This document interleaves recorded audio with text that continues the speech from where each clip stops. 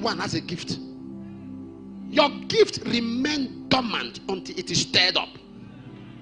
Stir up the gift of God that was in you, that was impacted on you by the laying on of hands. There are too many gifted pastors who have suddenly become politicians.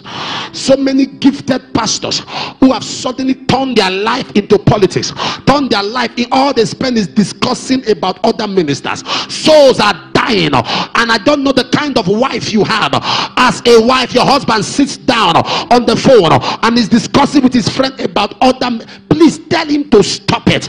Want that friend to stop calling him.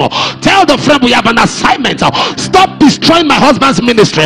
Stop destroying his focus. There is a gift that must manifest. There's a grace that must manifest. Somebody say, I'm gifted. You're pastor.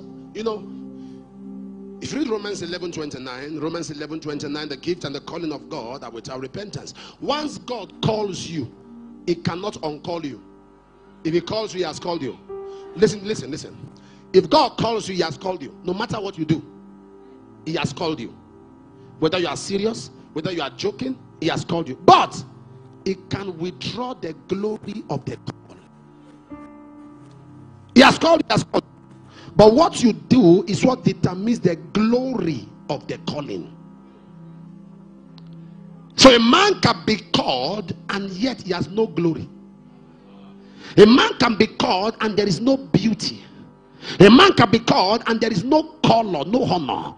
But the glory of the calling is directly connected to the life of the person. The glory of the calling is connected to the life of the called, the revelation of the called, the illumination of the called. In Christ, we are the same, but our position is on the platform of our revelations.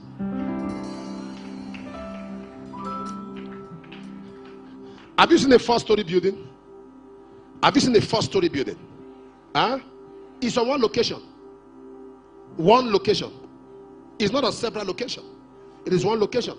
But there's the ground floor.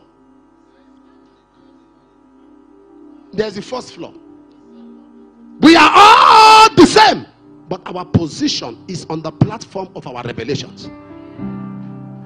Our position is on the platform of our illumination. So the Daniel generation is a gifted.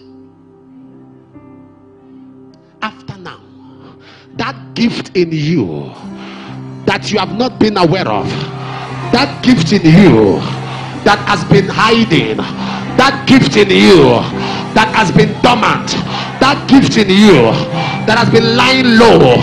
I see it manifest. I see it manifest. I see it manifest. I see it manifest. I see it manifest. I see it manifest. I see it manifest. I see it manifest. I see it manifest. Somebody shout my gift. My gift. My gift. My gift.